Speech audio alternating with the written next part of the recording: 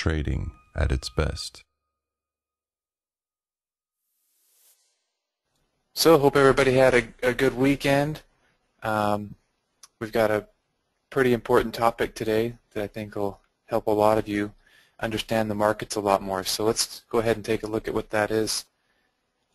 Uh, real quick, for those of you that are, this is your first time to the webinar, I'm Mike Swanson, founder of TradeWest Forex, and you've probably seen our Momentix software that we've been um, working with the last couple weeks.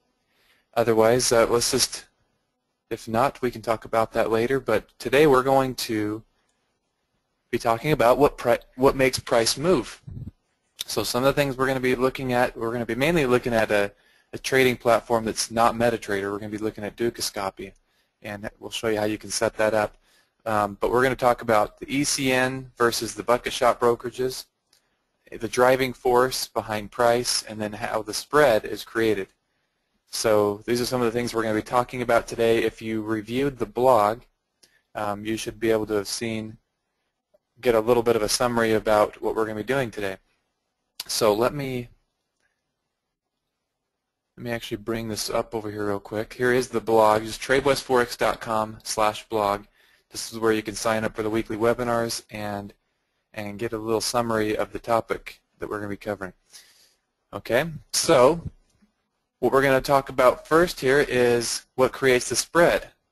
And so what most people think is that the spread is made up by the brokerages. So let me bring up a trading platform here. So here's your spread. You know, you got the bid price and the ask price. Everybody's familiar with this, and you'll see there's always a difference between the two.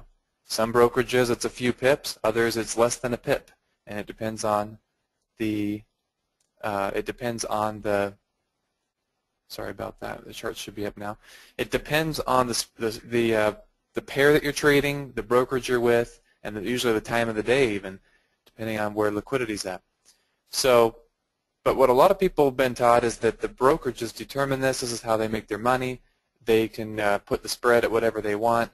And now that is half true because in the last couple of years there's been a lot of brokerages weeded out of the business that operated that way where they they were allowed to set the price, you know, they could move the price around take out stops and different things like that. There are still some brokerages that do that, and those are the brokerages we call bucket shops. And not only are they, you know, just manipulating the spread, but they they are trading against you. So if you buy, they don't put your order into the rest of the market like an ECN does. They actually take the opposite side of your trade. So it's in their best interest that you lose on the trade because obviously they'll make money. And so that's a big conflict of interest, and a lot of those brokerages were weeded out when the ECN trend began, and a lot of the laws were passed with U.S. brokerages and things like that. But the ECN is the Electronic Communication Network, and what that is is it's a place where a lot of brokerages and liquidity sources are um, showing their bids and offers, and then they are, trans are transmitting that directly to your broker or to your feed that you see so that you're seeing the raw actual prices that you can trade at. And now they don't take the trade against you. Since it's the ECN type of setup, they are going to match your order with someone else in the liquidity pool. And I'll explain this stuff here in more detail on these charts. Dukascopy has a good, a really nice platform to be able to see all this stuff, see all the transparency. Okay, but basically, that's a much better situation. Now your brokerage doesn't care if you make or lose money. In fact, they usually want you to make money so you'll continue trading with them. Um, and the way they make money instead of trading against you is by charging you a commission on the trade. So they'll charge, you know, between couple tenths of a pip to seven tenths or maybe even a full pip depending on your brokerage. But they'll just charge you a commission, a flat rate commission on the trade.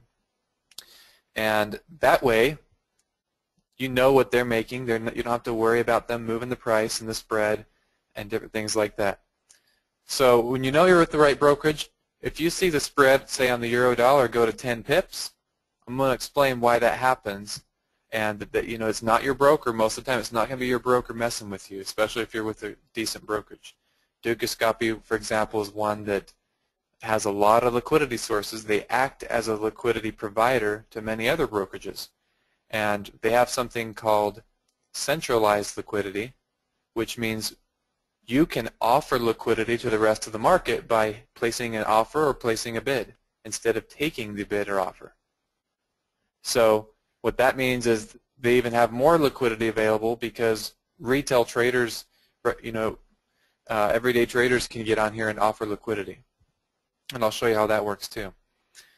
Okay, so hopefully this makes a little bit of sense that uh, the differences between bucket shops and ECNs. Now let me try to explain here how the spread itself is generated. Okay, we can demonstrate this by placing bids and offers. This is just on a demo account on the JForex Dukascopy platform. And you can go to dukascopy.com and open a demo in order to do this. Um, but what we can see here is this is the best price that I can sell at. The bid price, if I want to sell at market right now, this is the best available price that I can do that at. And if I want to buy at the ask price, that's the best price I can do that at. Now there's another piece here that you might not be familiar with because of this centralized liquidity where I can place a bid and an offer. And what that allows me to do is not pay the spread, and in fact, I'll be offering a better price than the existing uh, prices you see. Let me let's just, let's just do a demonstration so you can see how this works. So I'm going to put in the amount in millions here uh, is, and if I do a million, that's 10 standard lots. And so I'm just going to put in, we'll go 0.1. And what you're going to see here, I'm going to place an offer. And what that's telling the market is I'm going to take a sell trade when somebody buys at the price I offer. Okay, I'm going to offer a price for the market to buy at, and that's going to make me put a sell trade in. So it's going to, what I'm going to do is I'm going to put an offer in at a better price than the current price, and that's going to shrink the spread. And you're going to see my point one is going to show up here at the top. Okay, so watch how this works. I'm going to put it in just a little bit lower than the current price. I'm going to put it at 93.5, and I'm going to do 0.1. Okay, watch what happens here. There you go, 93.5 and 0.1. Do you see what happened? I shrunk the spread. Now this is just a demo. This is not going to happen on the real market unless I've got real a real account and real money on the line here. But this demo allows me to simulate the same thing. I'm now the best price. I'm the 0.1 at 93.5. If somebody buys right now, that will put me in a sell trade. Okay, let me see if we can bring up the order window here. Let's see, portfolio. Oops, not gonna. Okay, let me see. It might just be hiding. There it is.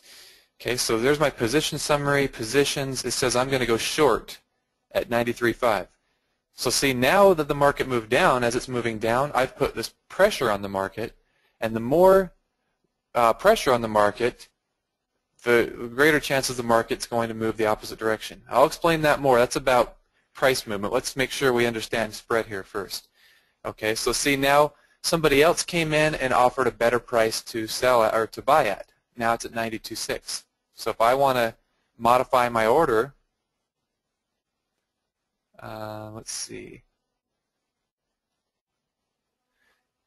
Okay, if I want to go in here and we'll place another offer.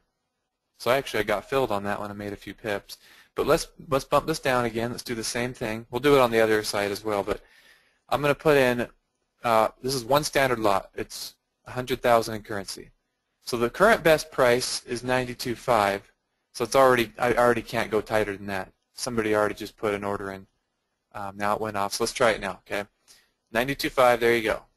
And looks like I got filled. So somebody took my offer.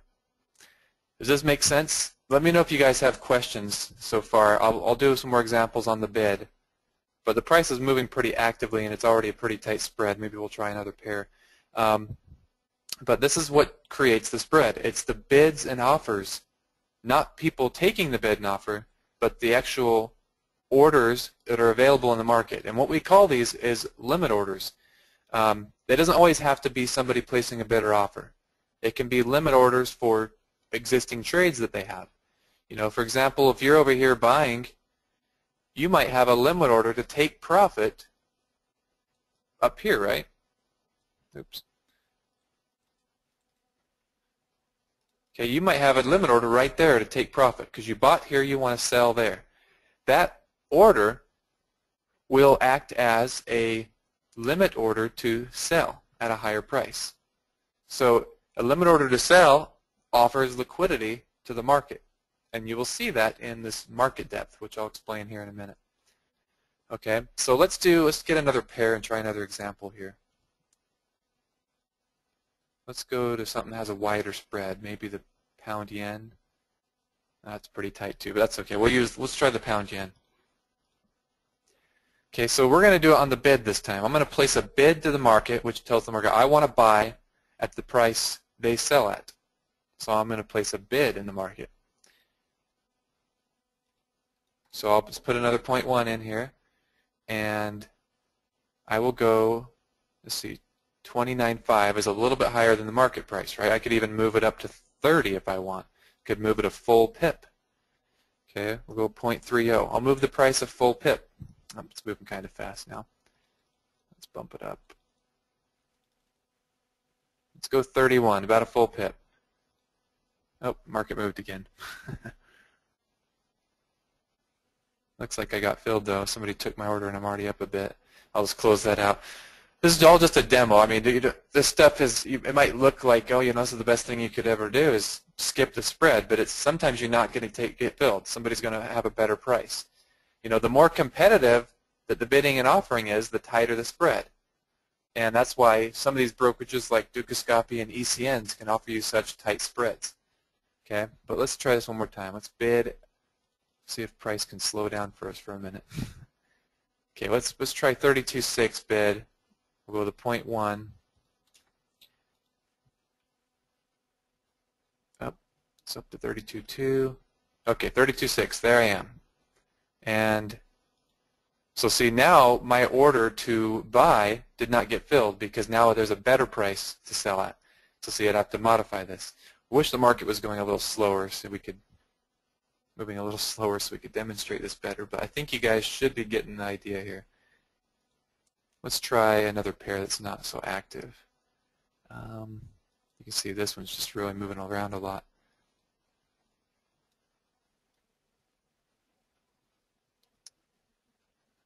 Let's see. Let's try. Let's grab another.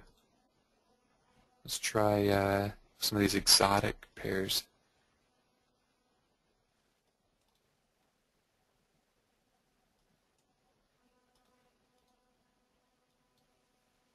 Okay. This one's moving too, but at least it's got a wider spread. So let's try this again. Let's place a bid, and we're going to put it about a pip above the price, 0.1. You're going to see my order come on right there. So now I'm the best bid. So I will stay there until somebody offers a better price to sell at, which would be higher than me. Otherwise, if somebody pushes this button right here, or if they take that liquidity from me, they, they will fill me on the uh, buy side, and that uh, the next available bid would show up.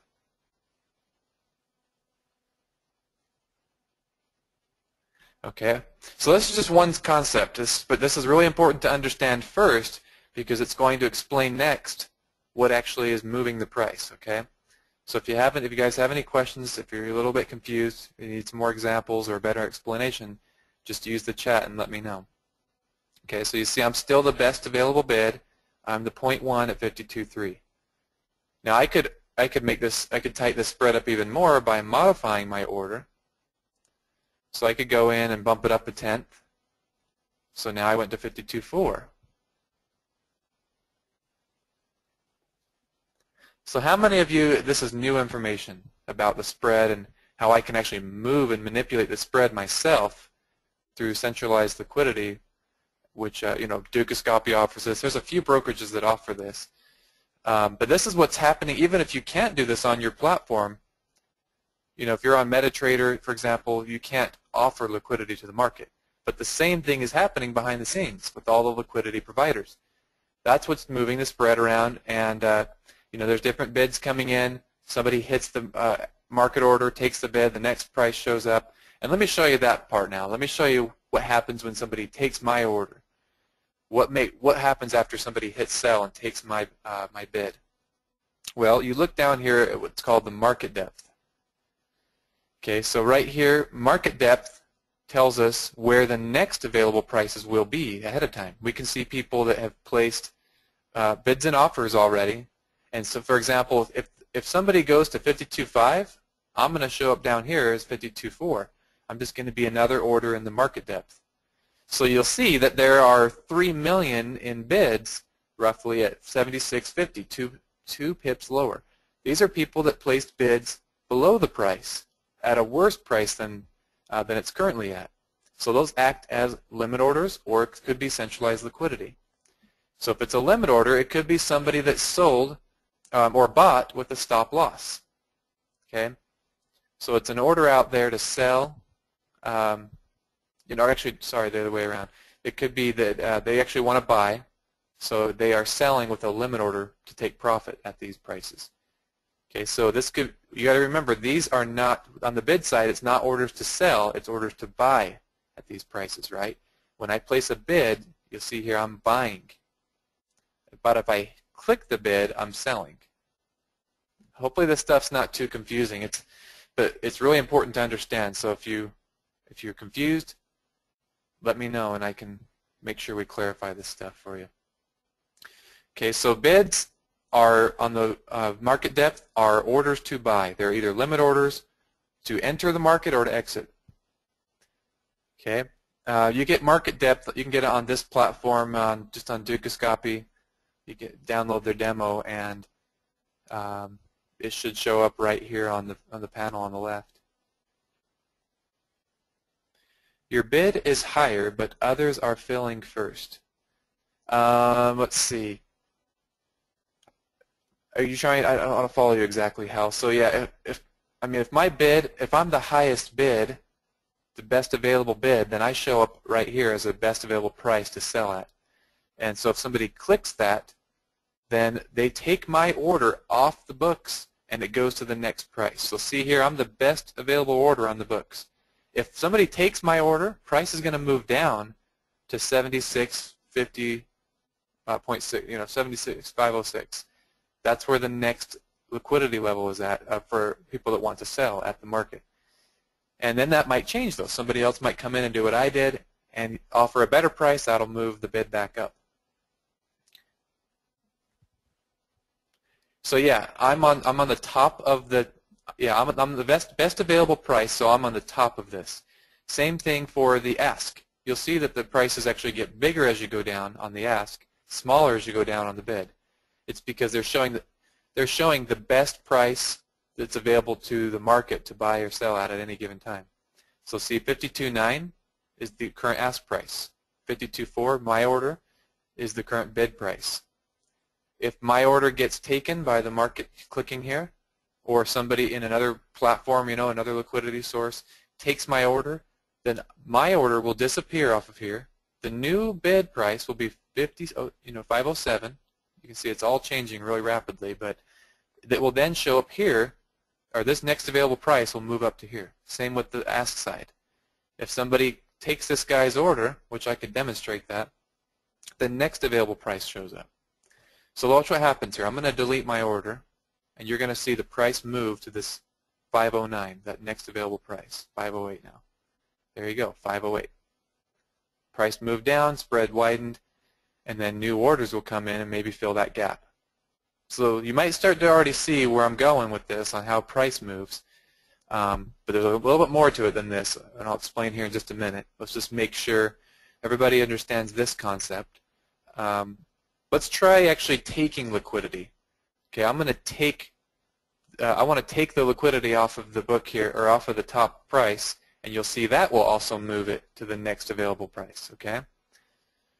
So let's see, I'd have to, I'd have to buy 1.7 million, and that would move the price to uh, 54.3. Let's just try that. That'll move it to 54.3, about a half a pip. So let's do 1.7. I don't know if I have enough in this account to do that. Well, let's try 53.8.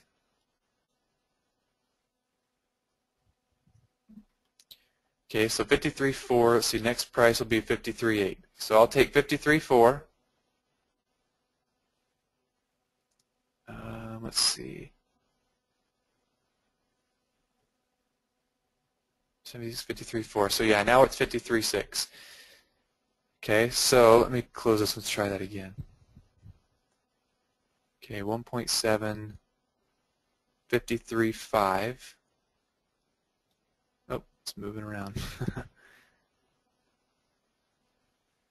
if we take 1.7 at 53.4, that would, let's see, 53.2.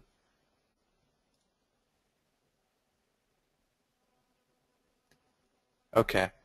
Um, so you'll see that right now on the de I think on the demo, I'd have to make sure on this, but I think on the demo when you take liquidity, it does not affect the market.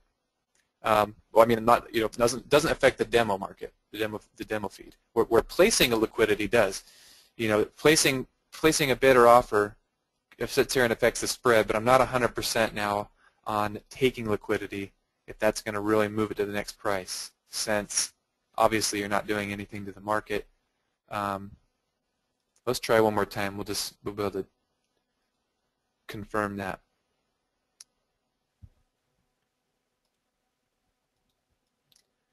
So if we take the 1.7 to 53.5, yeah, so it's not going to, on the demo, nothing's going to happen when you take the liquidity anyways, but you, that's how it works in the real environment. If this was a live account and I were to buy 1.7, you know, 17 standard lots at that price, basically if I take this liquidity at this price, the price will move to the next one. Or, like I said, the other way is if this person deletes their order, just like I did. I can put my bid in here, bump it up to 51.2, move it up a pip, put a million in there, or a 100,000. Okay, now I'm the best available bid. I move the price up. So either somebody needs to take my liquidity to move price down, take my order, or if I cancel my order, see that will also move the price back to the next price, next available bid. So is this all making sense? How the spread is formed, how market depth works, those kind of go together. If so, we will move on to the next concept. Let's see. What is the edge of having market depth? Well, there are some different things you can do with it, but we're not going to really cover that today. But I'll tell you that mainly it's it's an edge for uh, for traders that have larger accounts when you're going to be trading these large sizes because you can come in here either you know you can take some off the market and you could also place bids and offers. Some of the strategies that liquidity providers, banks, and different things that they do is they will put pressure on the market. You know, something like this down here. They've got 6 million, two pips higher. The market cannot move above there until that or, those orders are filled. Okay, so let's let's move on to the next concept. That that's where I can explain this, and you'll see how market depth can help you a little bit. Um, you know, as as far as understanding what kind of strategies people are using with market depth. Let's make sure I can answer all these questions, though. Let's see.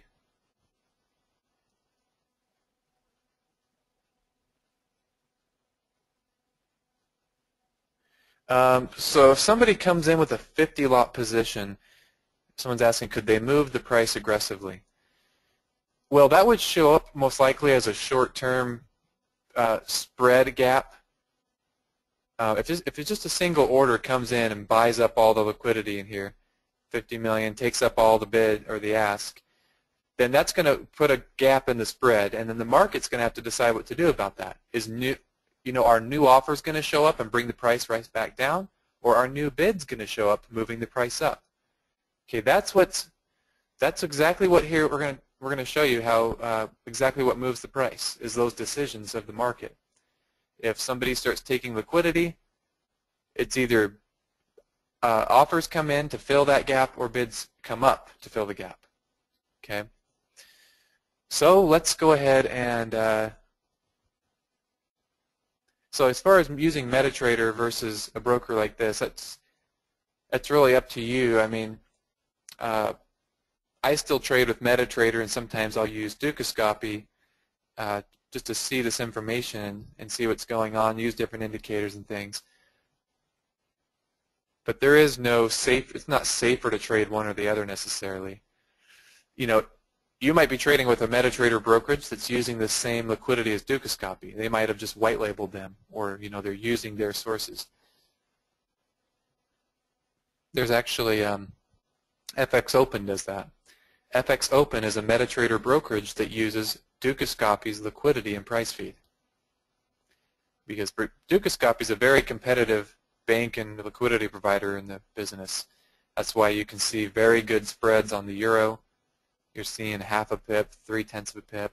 This is on the demo, but the live will be pretty similar. Okay, so I think we've got that, the spread part of things. Most of you seem to understand that now and how the market depth comes into play. Uh, MetaTrader does not show market depth. Some MetaTrader brokerages have a program that goes with it that can show you market depth. And Dukascopy does not allow U.S. customers anymore, but they have a white, they allow FXDD to offer through them, and I haven't looked into that much though. Okay, well let's go back here, let's go to the charts now, and let's see if we can explain how price moves. Now that you got a foundation of what makes up price, you should be able to understand now what drives market up like it did here last night and this morning and even what just happened here a few minutes ago. What caused price to take off here, you know, 15 pips in a few minutes? What caused that? Well, let's go ahead and take a deeper look at what's going on. Okay, what some people think is that when there are a lot of buyers, that that's all it takes, a lot of buyers. A lot of people think a bunch of people were buying and that's what drove price up. Well, here's the thing. The simple transaction of somebody buying does not drive the price by itself because what, what happens when you buy? If you followed what I've been showing you here, if I buy, what happened is I took somebody's offer. So I was matched up. So by buying, that just neutralized the position and didn't do anything. And even like I said, if I buy a whole bunch, that alone is also not going to move price up. If I take all this liquidity Sure, it's going to move the offer price up, but the bid will go nowhere. The only way the bid's going to go up is if the market comes in and offers a better bid price. So, you know, it could be either way. If I buy up all the liquidity and move the ask up, the bids could come in or the offers could come back down and move the price right back down on the offer side. Does that make sense? So see, we don't know which way it's going to go. I mean, just because you, you take all the liquidity on one side does not mean it's going to go that way.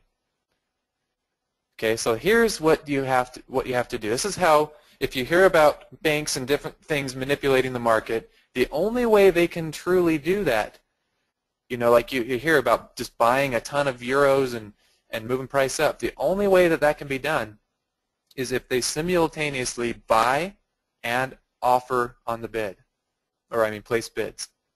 So they have to take offers and place bids. Does that make sense? So if they buy 50 million, they need to place uh, a new bid at the uh, you know right behind there where they uh, where they took all the liquidity. That will actually move the price. You follow me? Okay, so let me see if I let me get a little notepad up. Let's just do a little visual example here. Okay, so let's say price is at 1.3300, and you know all the way down to 1. Point, uh, let's say 3290. You know, there's a bunch of, there's obviously a bunch of orders in between there, but we're just going to say we got a total here, you know, of about, you got 1.5 here, maybe uh, 2.5 million there. So you could go all the way down. We could just say the total is, let's just do the fifth, let's just do 10 million. Okay, so you got 10 million. Let me show you something else here on market depth. They do this for you. They go through and add up all the the uh, the bids in the book, add up all the liquidity, and then tell you the total liquidity at, and the average price. So you see, they've already kind of done that. They're saying for price to go down to 05, or you know, at an average price of 05, there's 207 million. So I'm doing the same thing here for you guys. I'm just going to do a little example. You know, you're basically getting an average, we'll say, of 1.3295 with 10 million. Okay. Um, now, what's going to happen is if I sell 10 million, if I click sell, take 10 million at the bid price, take all those bids, price will move down to here. It will move the bid down to 1.3290, right? But now let's say over here, let's get the ask side up. Let's say this is 3302. We'll do the same thing. Down here it's 1.32. Uh, actually not going to see those. Those are orders that you won't see until the market moves down. Okay, but anyways, let's just say I do hit that bid. Well, what's going to happen is price is going to be 1.3290 slash, you know, offer 1.3302. I've just caused a 12 pip spread in the market, and I need to close that gap faster than everybody else. Otherwise, my my 10 million that I just sold is going to go into a drawdown when the market comes right back up. So what I'm going to do is I'm going to place an offer. So, you know, we'll place an offer at 1.3292, for example. Now I've shrunk the gap, I've secured a 10 pip move in the market, and placed an offer here, hoping that the market's not going to go back up. Now, retail traders like you and I, we're not going to be able to go in and do this strategy. What I'm just showing you here is the concept that's happening, you know, either with banks doing this or just the market itself uh, causing this reaction. So sure, I could go sell 10 million and go put a 10 million offer back in or maybe a 5 million offer at 92, but price could easily fill that and go back up if the market wants to, uh, you know, if the pressure on the market is to go long and, and drive the trend back up. So what what a liquidity provider or a bank is going to do is put a heavy, a strong bit, a strong offer in. They're not going to just put probably 10 million here. If they've sold 10 million, they might put an offer, you know, 5 million at that price. They place another offer at, uh, you know, one pip higher than that. They might put another 5 million there. They're going to put in these, you know, they're going to put in a bunch of these orders to protect their short position. Because like I told you here, they, they sold all this liquidity, sold at 32.90 all the way down to 32.90, 10 million, and they've put offers in now to secure that move, but then also to try to prevent the market from going up. This is what real market resistance is all about. It's actually it's it's actual offers on the market. That's what causes real resistance. And what causes real support? Bids. It's bids on the market. Okay, so let's see if we can make some more sense of this on the charts now.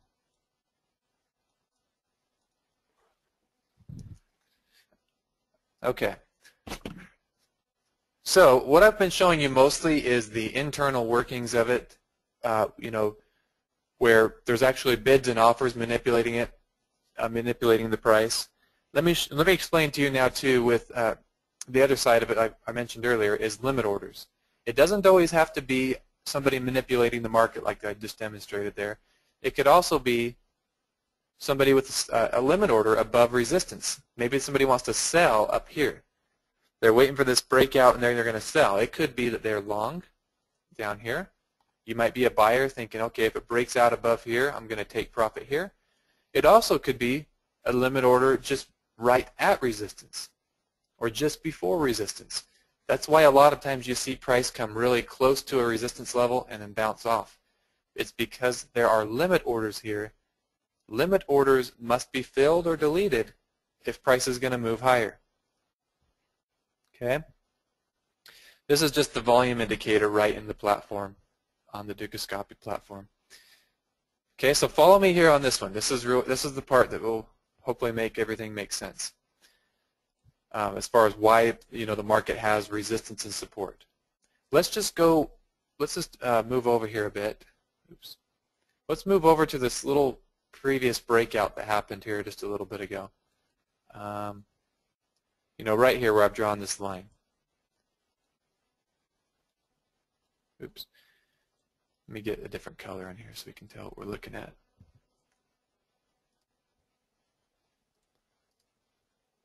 Okay, so you've got this support level. You've got the market that was ranging, you know, bouncing back and forth there for a while, and then it finally broke down. What caused the price to move down like that? Well, if you follow me so far, the only thing that could possibly do that is somebody taking the liquidity on the bid and then offers catching up, you know, new offers showing up right behind that. That's the only thing that can drive this down. So, what uh, you know, what usually happens here is there was not a lot of bids. When the price came to right here, there was not a lot of bids. The market depth wasn't very, it was what we call thin. There was a, it, was it wasn't a lot of liquidity, so it was easy for mar the market to go down. It was easy for the market to be hitting the sell, you know, because every second here we watch this, somebody's hitting buy and sell. It's just constantly going back and forth. Now, the only thing that's going to drive price down, up or down, is um, when there's whichever side has the least amount of support or resistance. If, and I'm talking about as far as order support, the actual liquidity support. So if, some, if it's sell, buying and selling back and forth are constantly, if more of these bids are getting taken up and there's not a lot of bids coming back in, price is going to move down like it did here. If we could go back in time and see what's happening, it's there was a lot of people taking the bids and there wasn't a lot of bids to have, to, uh, you know, causing the support. There was less bids than offers, and that's what allowed the price to just naturally make its move down. And as it was moving down, it was easy for the price to move through those bids. Well, other traders came in and adjusted their their offers. They wanted to offer the best price, and they keep moving it down until they get to the bottom here. Then finally, the offers start getting filled. So that's when the support is generated. So right down here, new support level is generated because at that point, there might have been a bunch of bids right here. There could have been too many bids here for the market to push lower. There might have been too many bids. Um, or this is the point when more offers were getting taken, and that's what was causing new bids to have to show up at higher prices, driving the price back up. Okay, let's take a quick breather here and make sure everybody's following me. This is probably very new to what you're familiar with as far as understanding what's driving price, what's really behind this thing. So I'm going to make sure we answer some questions before we continue. So if you guys have any questions, let me know. I can already see some here. Let me catch up and answer those. So yeah, Kenny says FX Open, for example, has extra software so you can see market depth. So they're a MetaTrader broker that allows you to see it with a separate program. Um, I'm not sure on that with FXCM acting as a liquidity provider. They might to some of the smaller different brokerages. It's kind of how Dukascopy does it. In fact, I think even FXCM uses Dukascopy as one of their sources. I mean, it's just there's a lot of different liquidity providers they can pick and choose from. They just, you know, they have minimum requirements. Some of them, you know, like Currenex wants $10 million uh, to be set up with a liquidity provider with them. I mean, so, you know, that's why some brokerages don't have very good spreads. They don't have the funding to go in and set up all these relationships with different sort liquidity providers. Others like Dukascopy, they've got extremely good, you know, competitive spreads because not only are they doing centralized liquidity, but they are plugged in to most you know major liquidity sources and banks. They've got a lot of partner relationships. They've been around for a long time.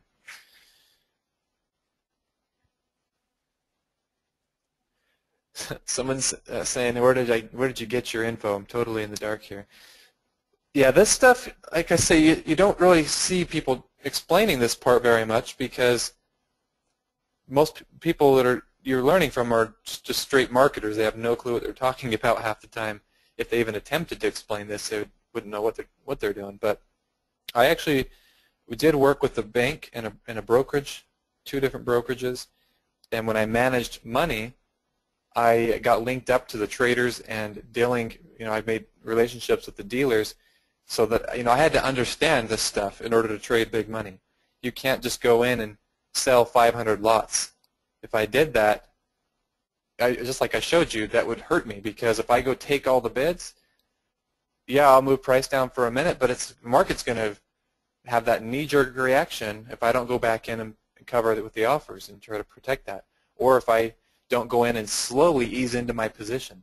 There's a lot of different strategies they taught me when I started managing the, that kind of money that I was managing, and that's what that's where I learned all this stuff. This is not me just guessing and somehow figuring it out by watching price.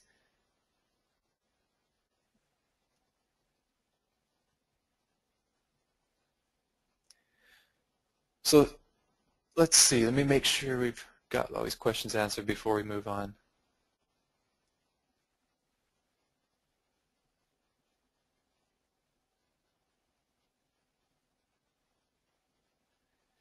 So for me, the reason I, I stopped, you know, trading 18 hours a day and, and managing funds and all of that is that's really not what I wanted to get into trading for. I didn't get into Forex to watch my charts 24-7 basically. So I did that for a couple of years and I just got burnt out and found it much less stressful and, and, uh, and much nicer. You know, I don't want to spend all of my time just watching charts. It was much, uh, I found it much nicer to I'm more, you know, do more of swing trading and occasionally do some day trades and spend more of my time developing systems now. And I enjoy doing that more than I do staring at my charts 18 hours a day. so that's why I, I've kind of changed. Some of you might find the same thing. You might uh, get trading, get things figured out, start making good money, but then you'll find that you don't want to spend all of your time, you know, day trading and watching charts. So you might adapt your strategy to work a different way or might do something different in the markets. Okay, so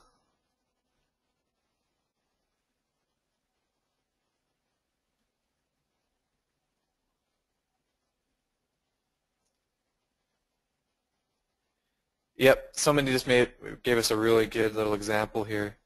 Um, let's see. First, let me answer this. I believe it's.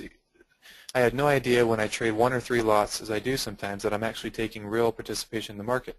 I thought we were speculating just on the sidelines.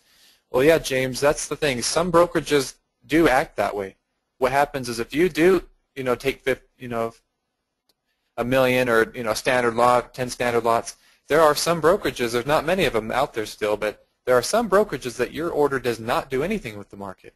They act as a bucket shop, um, and they're actually just taking your order in-house on the opposite side. They're not even taking liquidity. Your order doesn't take liquidity. But that's why you don't want to trade with that brokerage because it's a big conflict of interest. You want to trade with an ECN or a brokerage that's giving you the raw spread and just charging you a commission per trade. And that way, yes, you are participating in the markets and you do have an effect on the market. Now you're not going to be, you're not most likely going to be the one driving the market. You know, your little orders going in are not going to have a huge influence on which way price goes. Um, but at least you know that you're not going to be manipulated by the, you know, by the market maker, the brokerage that's doing those type of things. And so here you go. James was saying, um, I once read it's like a building. As the limits push up, they are breaking through an imaginary ceiling, like a floor in a building. So as you said, they push up. As they push up, you, uh, they place big orders behind them to rebuild the floor below them. So that's exactly right. They can't just go break the ceilings in the building and hope to be able to climb up the building. You know, you got to have new floors rebuilt below them to keep, you know, to keep them pushing up. So that's a little good little example James has given us here.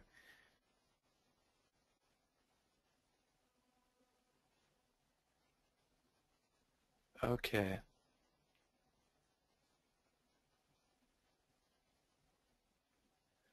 With my swing trading, you know, I'm mainly using the things we've taught with Momentix and that I've taught in our our different workshops and things. But uh, the key thing is kind of what we talked about. I don't know if you, if you guys made it to our last webinar uh, in the middle of last week, but we talked about the biggest failure for traders is giving up too soon and timing. A lot of times, you know, traders will start trading a system after a huge bull run, you know, a huge profit run, and they start at the worst time, and then they lose money, and they give up before it's about to take off again. So what I what I had to learn and adapt to uh, with any all of my trading really is that you've got to stick it stick with it. You can't be changing your strategy every other week, and you can't be uh, pushed out of the market from some drawdown. You've got to stick with it. And so there's a lot of different things that go into that that we teach our members, but you've got to have the right risk parameters and you've got to have the right mindset when you go into this or it doesn't matter what you're doing. Day trading or swing trading, it won't work.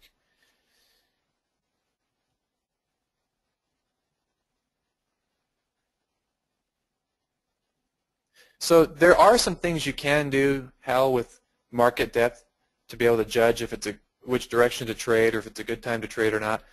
Um, I've tried building different systems to automate the process, but it's something that you really, you know, to really to really do well with that approach, you've got to have you got to have some pretty decent skin in the game as far as the sizes that you're trading.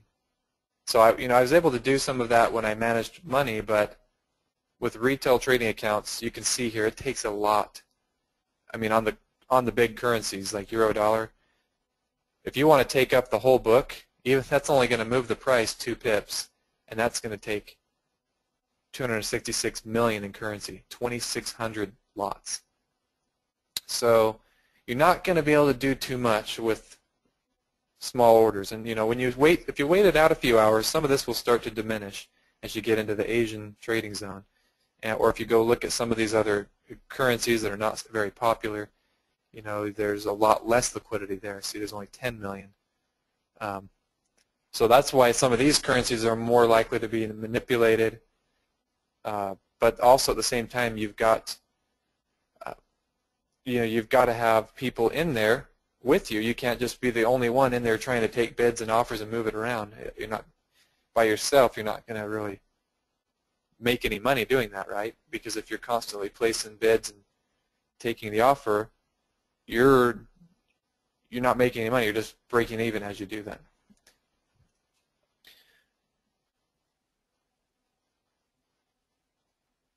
Okay. What's the difference between a bucket shop and a dealing desk? Well, a dealing desk, some people are, get confused where they think a dealing desk is a bucket shop, and that's not always the case. Sometimes there can be you have a perfectly, you know, perfectly fine brokerage that runs a dealing desk, and what they're doing is just matching up orders and confirming, you know, that the liquidity is there and and um, a lot of that's been automated now nowadays, but but they're just making sure they're matching up orders with other traders internally. So there's a lot of brokerages that process more of their volume centralized, like the centralized liquidity approach, than they do to outside sources. So that's why they have the dealer platform set up. But there are others that don't, you know, don't, don't look at it that way. They have a dealing desk that does pull tricks like, you know, filling your orders late because they don't have the liquidity there, so they offer they take you and match you up with some other limit order that's higher or lower, um, or against their own positions, what they're willing where they're willing to put a bid or offer in for you, and those are those broke the bucket shop brokerages we're talking about. So you just got to be careful. You know, you could even ask us about different brokerages if we've heard of them or what we think, but. Uh, but that's the difference. Now, there can be some um, brokerages set up that are using real liquidity and are using dealing desks.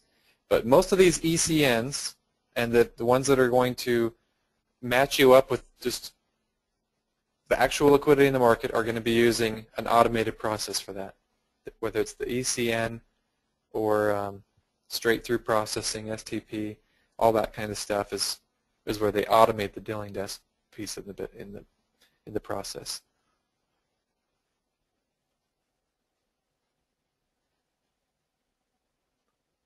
yeah, if you want to see more information about Momentix, I could probably post, or Ramin maybe can post you the link, Ed. It's just tradewestforex.com slash Momentix.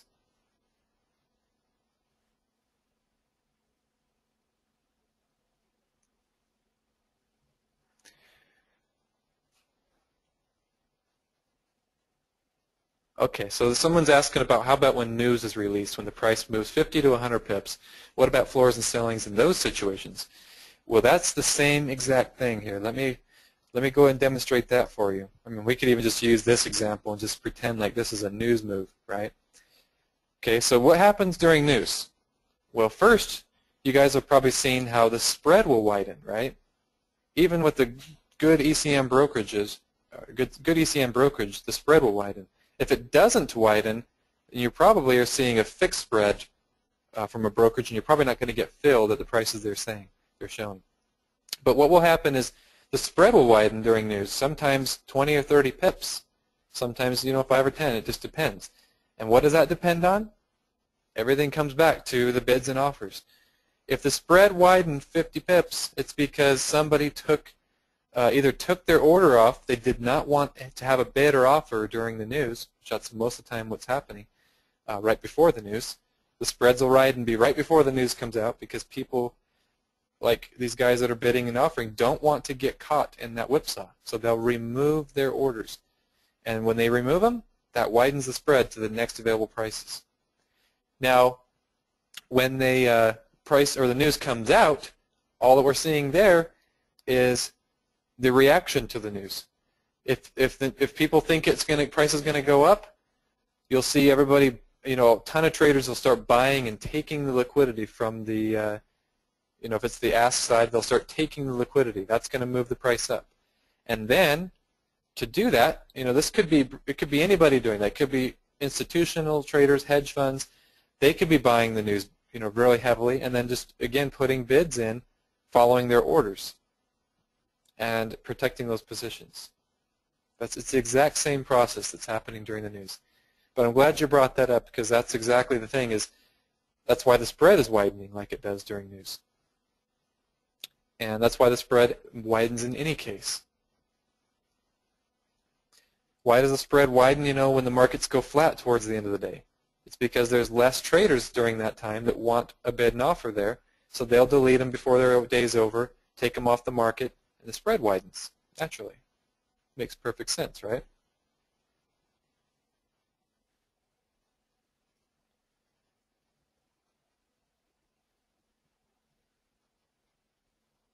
Is there a difference between the last price in Forex and the last price in futures. So I, what you're referring to is the last price that was traded at, that the liquidity was filled at. And I don't know if they still have this the indicator for that, but you know the one I still use is the AD, accumulation and distribution. And so what this line tells us is kind of what you're saying is the last uh, the last price or last price that the market was traded at it's not exactly the same thing, but let me just show you. So basically, as this blue line moved, if it moved up or it moved down, you know, if it moved down, that was distribution, and it means more traders were selling, um, or that the liquidity that was entering the market was uh, was from people or traders selling at the bid. If it moves up, it's from traders buying at the ask price. So that kind of tells you, I mean, they used to have another indicator in here that could show you bid and ask volume, and you could see the last price that was traded at. You could use the tick chart, you know, and you could see that. I mean, you can kind of see what happened here.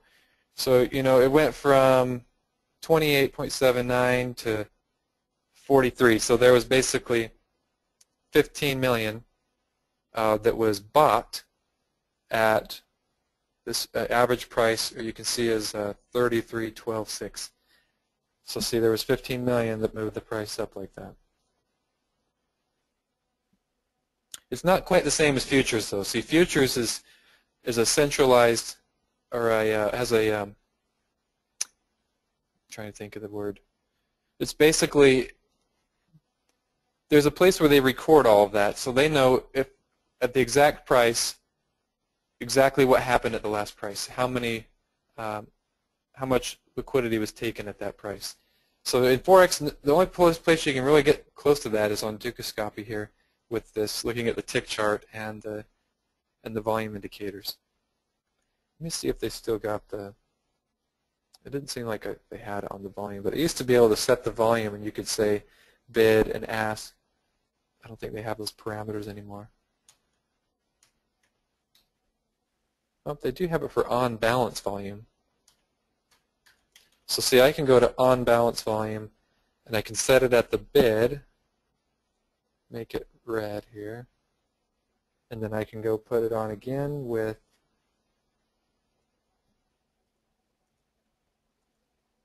I'll make it on the ask price in blue. Okay, so now you'd be seeing, you know, when a price moves up, how much of it was traders selling at the bid and, at, and buying at the ask price.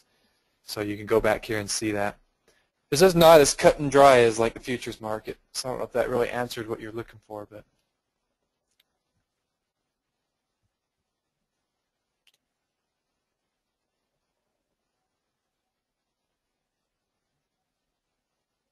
Yeah, I see what you mean. Yeah, the last price that the market was traded at could be the bid, um, either has to be the bid or the ask.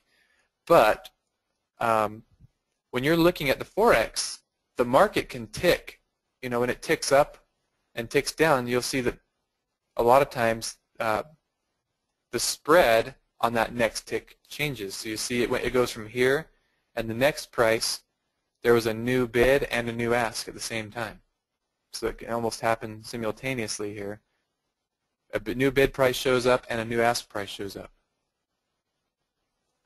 that's like I say, it's because what traders are doing is when they're taking the ask price, they're putting a bid in at the same exact time to make sure price does in fact move up or move down, whichever way they're going. So it is different. I think that's what you're looking for is how it's different than the futures last price.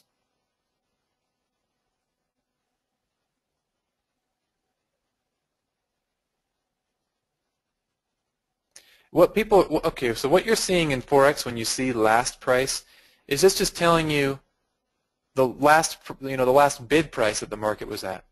It's just telling you, you know, the last, before the, you see where the price is at now, where the last bid price was at. So, I mean, that's different you're sure, you know, here we are at 11.8. If the price moves up to 11.9, then it's just telling you the last price was 8, so you know that the last move was up. It's the same thing. Let me just show you on, on MetaTrader how they do it. Instead of telling you the last price, they just color the, um, the quote. Okay, let me show you this real quick here.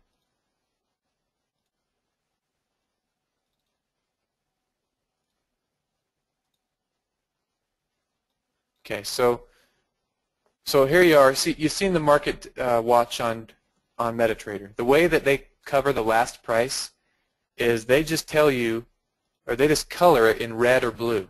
If the last price was higher, they color it red. If the last price was lower, they cover color it in blue. So that's what you're talking about with last price in Forex. That's kind of different than maybe what I was explaining, but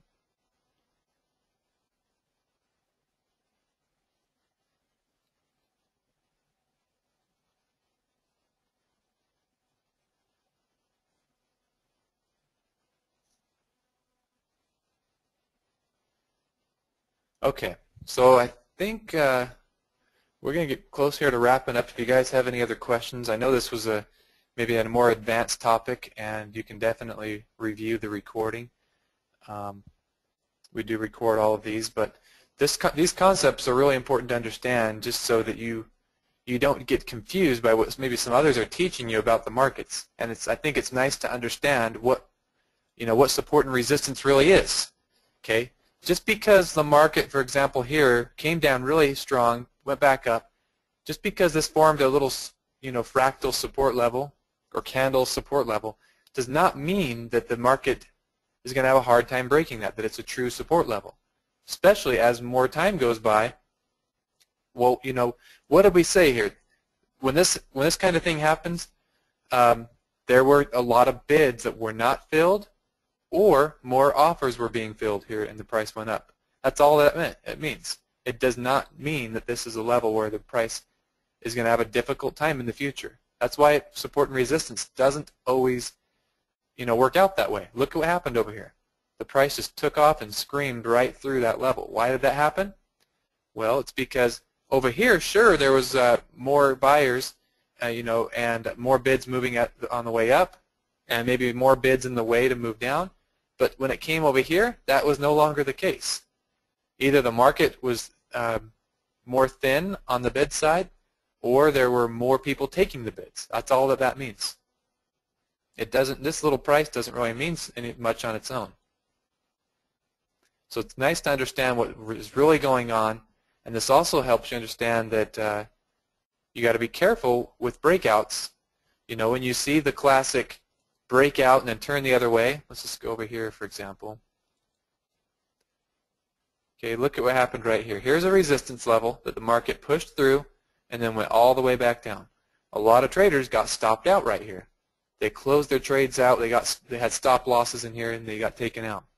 And then the market went, went right back down. It's because they think that this is a really strong level that it's not going to do that. But that's like I've taught you now.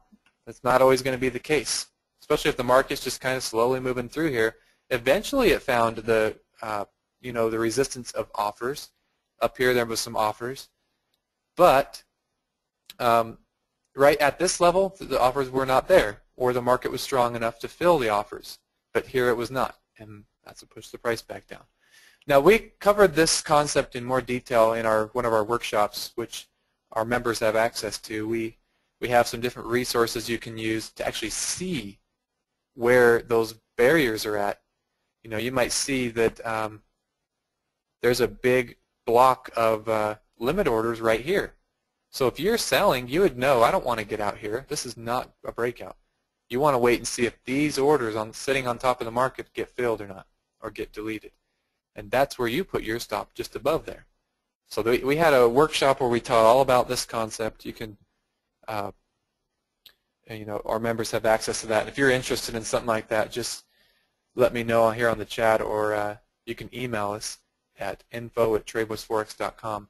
But that's what you that's the only thing you really have as a forex trader you know is the price itself and what the bid and ask is doing which that stuff like I say won't help you so much um, as a retail trader because you're not trading big enough trade you know lot sizes to affect the market but things like this seeing where it's at outside of the depth more than just these couple levels deep seeing where the big blocks of orders are at can help you a lot as a swing trader and even as a day trader you know, I could go bring up the resource now and I could see it might look something like this. And if I was sitting in here, I could range trade this all day long. You know, and then eventually you'll see that that block, it will come to an end. And uh, it might get moved up. And then I'll just adjust my orders accordingly. Okay, so well, we might talk about this concept of, uh, you know, with seeing the future prices, future limit orders rather than uh, just the market depth. We might be able to cover that maybe in next week's or later this week, I guess. Um, but we'll let you know. I think I'm going to wrap this one up. And um, actually, I'll answer these couple last questions here, and then we're going to wrap this up.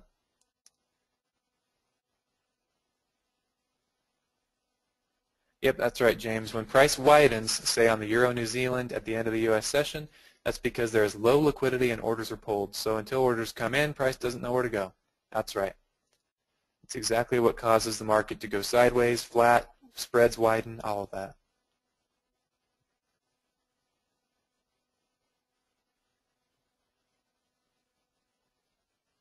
So a lot of traders are masking their positions. Is market depth useful for medium to long-term trading? Well, that's you brought up another point there. There's something called iceberg orders that uh, when you start trading big lot sizes, that's the way orders usually want to set them up you set those up, and you also set up a, you know, a lot of traders set up stealth mode and things just so the market doesn't see their limit orders. So yeah, that's where that's why you can't use market depth by itself um, as a strategy. It can only be just another indicator because you know smart traders out there know what they're doing and they don't want to be taken advantage of by traders just strictly looking at order flow.